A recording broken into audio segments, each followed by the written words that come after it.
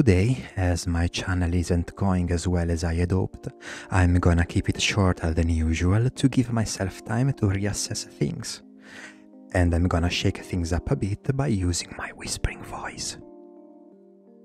So I set my monitor to 280 Hz, turned the G-Sync off and the V-Sync on, and once again collected the latency of 16 different scenarios in Hollow Knight using my beloved Intel PresentMon 2.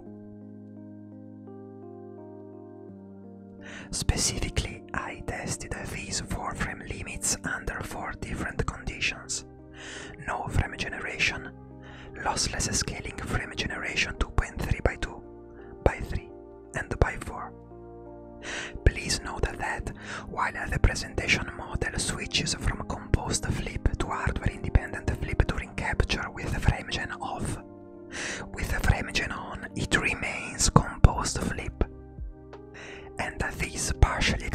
the following results.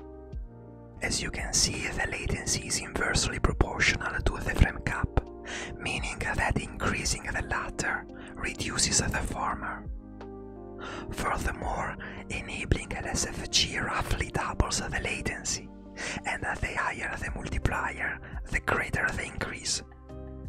I more or less expected this. What I didn't expect was the mind blowing increase in GPU usage. For instance, let's take the most extreme case. While with 70 real frames the load is only 5%, the load with 70 real and 210 fake frames is as high as 58%. To put this in perspective, 280 real frames use just 20% of the GPU core. In short, rate and have some spare GPU resources, using lossless scaling is basically like uh, downloading FPS.